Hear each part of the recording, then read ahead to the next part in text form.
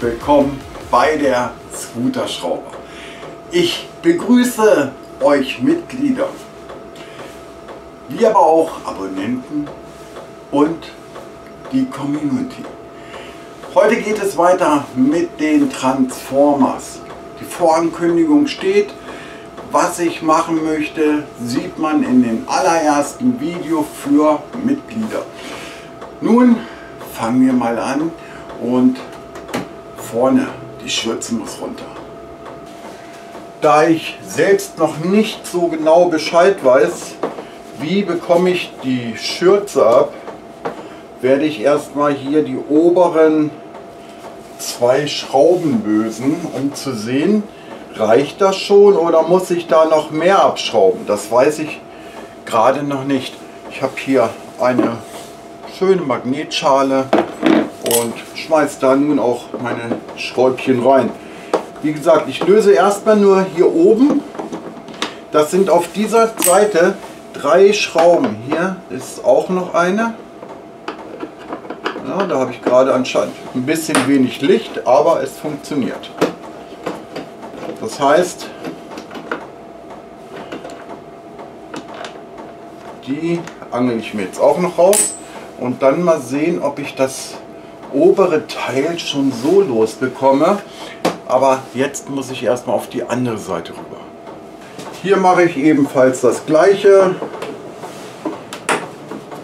Löse ebenfalls die drei Schrauben. Ah, und ich merke, hier löst sich schon was. Das ist sehr gut. Ich nehme euch mal nach vorne weiter. Und zwar hat sich das hier gelöst. Ja, es ist nicht viel, aber ich kann sagen, es ist komplett heile. Also das ist noch nicht ruiniert oder sowas. Das ist schön, das freut mich. Das heißt, ich weiß jetzt nicht gerade noch nicht, welchen Teil ich dann hier abbekomme. Hier ist noch einmal verschraubt. Diese Schraube hier kann ich aber rausnehmen. Angle ich mir nach Möglichkeit gucken, ob ich sie gezogen bekomme. Ja, hier ist sie. Und ich muss das auf jeden Fall lösen, um dass ich an das Zündschloss herankomme. Ähm, ja, ich löse jetzt erstmal hier vorne die beiden. Oh, hier stimmt aber irgendwas nicht. Hier ist irgendwas defekt. Da ist was abgerissen da drin die obere. Ja. Aber der Roller lag ja hier anscheinend auch schon mal auf der Seite. Das heißt, ich würde das ganz gerne, wenn es dann funktioniert und auch klappt, gleich ein bisschen reparieren. Ne? Weil hier ist ein Riss drin und da müsste man mal gucken. Auf jeden Fall ist hier schon hier was weggebrochen. Das hört man auch. Das ist Plastik. Und ich hole jetzt einen 10er Schlüssel.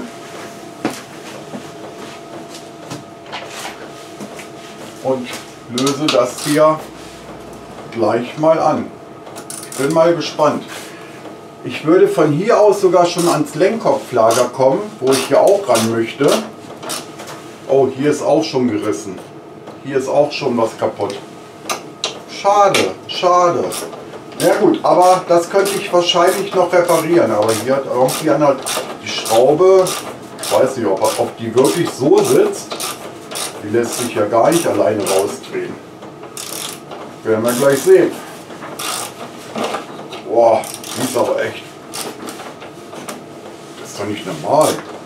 Moment, die hat einer schräg reingeschraubt. Die hat jemand schräg reingeschraubt. Auf jeden Fall. Oh, was ist denn das für eine Schraube? Das ist hier voll auf Spannung irgendwie. Und schaut mal. Seht ihr? Die hat einer falsch reingeschraubt. Na toll. Okay. Schauen wir mal weiter lässt sich hier schon was bewegen. Das sieht aus, als dass hier geteilt wäre nochmal. Sollte ich vielleicht doch die ganzen Innenschrauben hier drinnen alle rausnehmen, auf beiden Seiten. Ja, ich, ich weiß es nicht genau, noch nicht, noch nicht. Ich gucke hier mal ob hier irgendwo was geschraubt ist. Hier ist was geschraubt, aber das ist mehr unterwärts. Hm. Ich gucke mal ein bisschen drunter und leuchte da mal ein bisschen aus. Vorher verteile ich aber mal wieder lieber Söckchen, falls ich doch mal gegen die Decke komme. Ne? Dann ist das wenigstens geschützt. Und hoch damit. Ich muss sagen, von den Aufbau hier, ja, da ich ja hier noch nie weiter vorne dran schrauben musste, weiß ich gar nicht, wie ist das hier aufgebaut.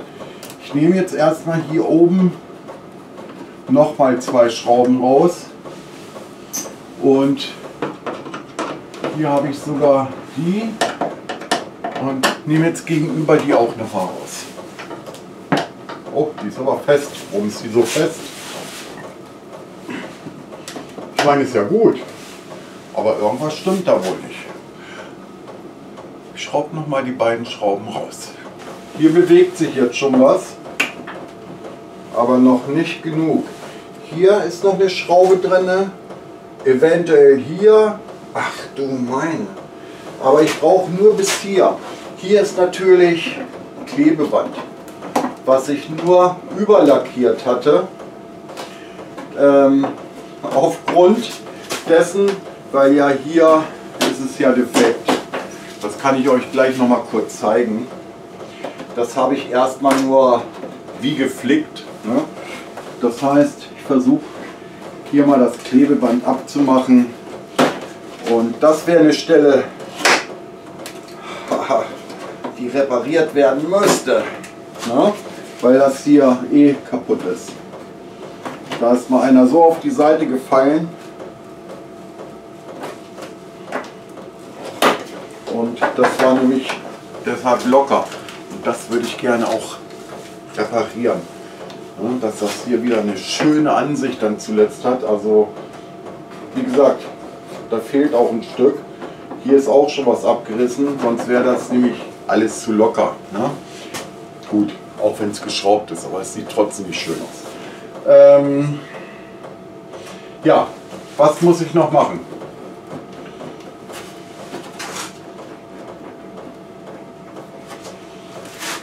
Ich glaube, ich löse erstmal hier diese Schrauben. Das sind natürlich auch mehrere. Weil hier ist ja noch ein Schutz drunter. Ne? Tja, hilft wohl alles nichts. Ich bin gerade dabei, mal gucken, ob ich den Lenker drehen kann. Ja. Ich bin gerade dabei und löse hier den Innenschutz. Okay, da brauche ich einen anderen Schraubendreher für. Aber hier müsste ich eigentlich auch so rankommen. Wenigstens hier an diese Schrauben.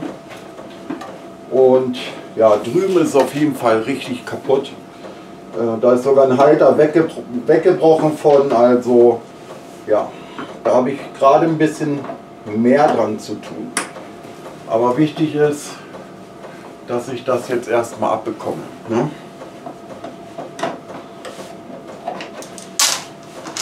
Jetzt brauche ich am besten ja, so einen kleinen Knubbelkreuzschlitz.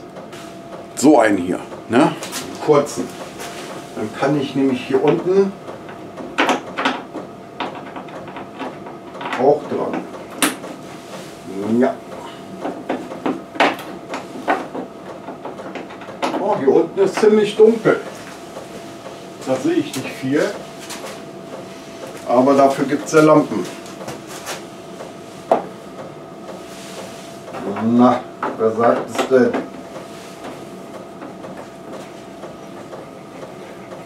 Ah, ich habe noch Schrauben entdeckt. Oberhalb, okay. Mache ich auch gleich. Nächste Schraube. Und zwar hier oben, hier ist auch noch eine. Hm, das kommt mir aber locker vor hier. Die muss ebenfalls hier raus.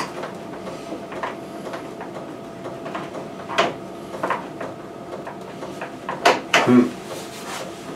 Lässt sich aber irgendwie gerade schwer drehen hier. Ich muss mal kurz vor die Kamera.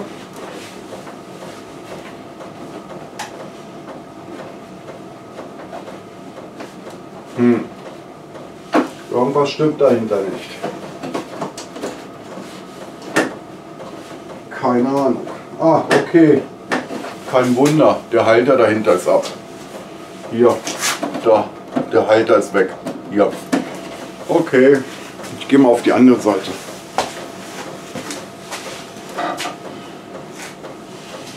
Dann nehme ich jetzt hier unten noch die raus. Ja, schade, die Verkleidung hat ganz schön gelitten. Ich dachte nur die eine Seite, aber naja, doch beide Seiten. So, Schrauben. Gleich weg damit. Und hier oben war noch eine.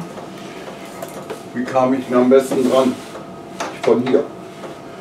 Mal gucken, ob der Halter hier existiert oder nicht. Hört sich nicht danach an, aber auch abgebrochen. Gut, dann heißt das, ich muss später dann versuchen, diese Halter hier irgendwie wieder vielleicht dran zu bekommen. Ich versuche jetzt mal von oben, ob ich da dran vorbeikäme. Das sieht schwieriger aus, als ich dachte.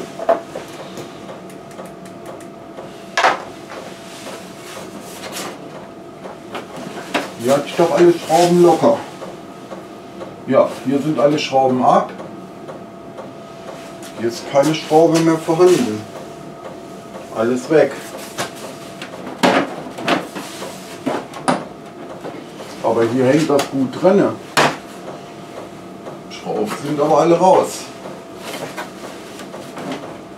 Wahrscheinlich hakt das hier noch besser ein als drüben. Das ist irgendwie ein bisschen wohl eingehakt. Ist die Frage wie. Nehmen das mal nach vorne hier.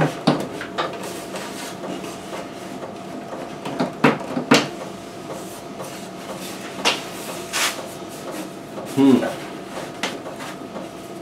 Ich bekomme das Teil auch so separat hier nicht raus.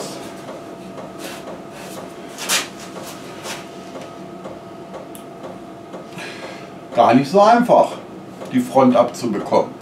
Die eine Seite ist ab. Seht ihr? Aber auch nur die eine Seite bis jetzt. Brauche ich nur noch irgendwie doch die zweite. Oder habe ich da, vielleicht sollte ich das nach innen tun hier. Gucken.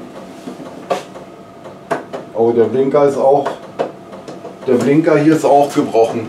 Dieser hier. Na, dann komm doch jetzt raus.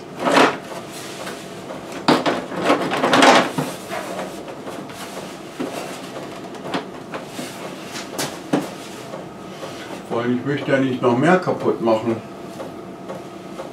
Warum will das nicht? Ich nehme mal hier vorne unten die Schraube raus.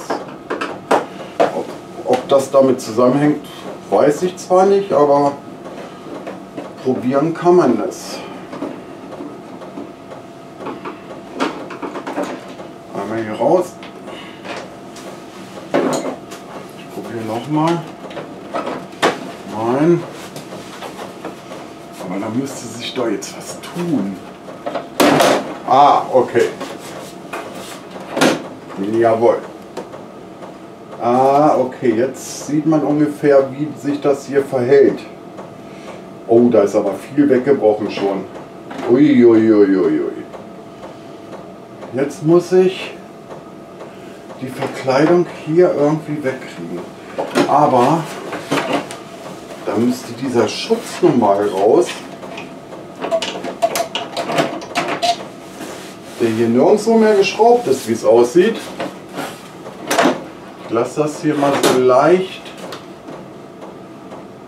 nach vorne hängen. Ah, okay, da. Ich glaube, ich gehe mal, ich mal rüber und löse auf der anderen Seite unten am, äh, am Fußtritt die eine Schraube, weil das sieht nämlich aus, als könnte ich dann das vielleicht ganz nach vorne ziehen. Ich glaube, ich weiß, was hier hängt. Blinker vielleicht, dass die Blinker hier drin hängen. Moment, ich versuche mal den Stecker zu lösen. Dass ich den Stecker von den Blinkern abbekomme. Nee, das scheint, das scheint nicht das zu sein, aber die Blinker müssten eh abgezogen werden.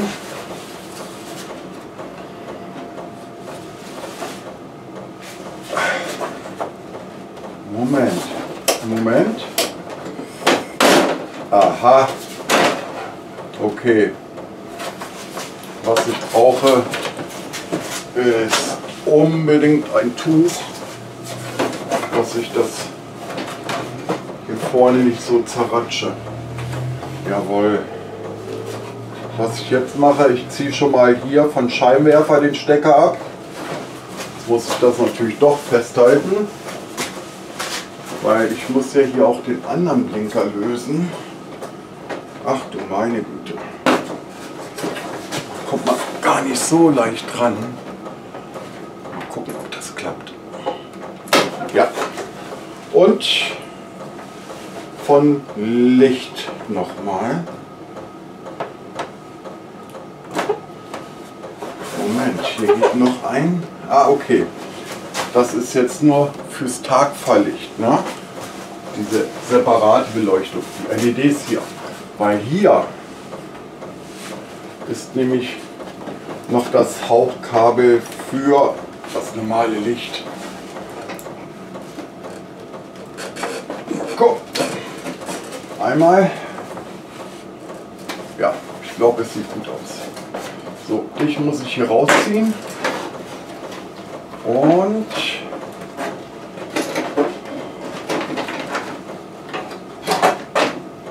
Jawohl, das ist aber auch ein Monstrum. Junge, boah, da habe ich aber dran zu tun. Mein lieber Mann, da habe ich richtig dran zu tun. Oder? Das wird sich dann zeigen. Ich komme mal hier rum. Ach du Schande. Hier das Teil ist auch gerissen. Und hier ja nun auch. Das ist da drin eingehangen. Das müsste wieder neu befestigt werden. Komplett abgerissen. Das hier ist heile. Hier ist aber noch ein Halter, wie ich schon sagte. Der müsste auch irgendwie nach Möglichkeit wieder befestigt werden. Ja, und wir müssen ja an das Zündschloss. Ach du meine. Da komme ich glaube ich so gar nicht dran. Auch selbst hier unten ist auch noch ein Halter, der abgebrochen ist. Ich versuche hier mal die Schutzkappe, seht ihr diese hier, hier, da. Ich nehme jetzt mal die Schutzkappe hier raus. Und hier ist sie, oder hier ist das Ganze verschraubt.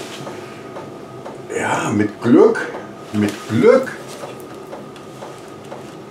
Hier kann ich das Kabel lösen, ne, das Hauptkabel, den ganzen Kabelstrang sozusagen. Müsste nur mal gucken, das hier kann ich abklemmen, das Relais. Das hier kann ich ebenfalls abklemmen. Das Teil kommt jetzt auch ab, also das heißt stöpselig ne, nur ab. Und hier oben muss ich auch abstöpseln. Mal gucken. Okay, Moment.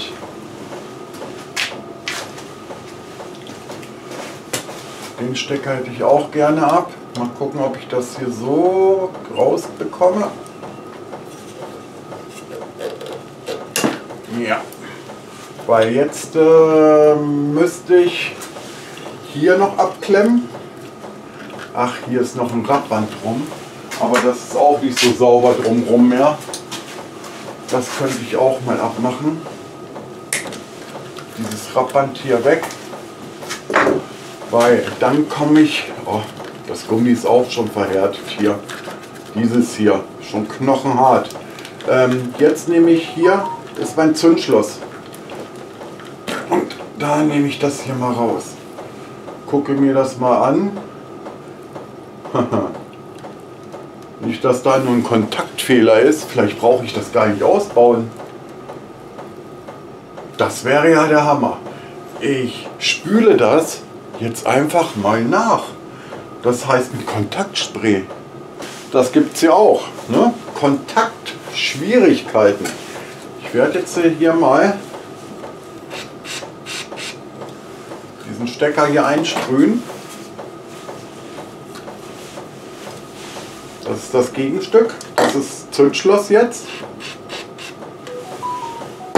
Und bringe das Ganze jetzt zwei zusammen. Diesen Stecker. Und dann können wir mal gucken, ob der Wackelkontakt weg ist. Vielleicht ist es nur ein Wackelkontakt gewesen. Entweder ein Wackelkontakt oder eben, ja, oxidiert. Alles ist möglich. Stecke jetzt den Zündschlüssel mal ein und drehe ihn jetzt mal. Okay. Ich mache mal dasselbe Spiel wie das letzte Mal. mal aus. Mal richtig normal an. Nein. Jetzt drücke ich wieder gegen. Jetzt mache ich mal nur ein Stückchen an, so dass ich gerade drüber wegkomme. Na, jetzt brauche ich Anschlag. Also es liegt doch an Zündschloss. Ne? Man seht ihr hier, die Ölleuchte geht an. Aber da da ist ein Kontaktfehler. Somit muss auf jeden Fall das Zündschloss komplett ausgebaut werden. Und ähm, jetzt zeige ich euch mal, wie das alles hier zerstört ist.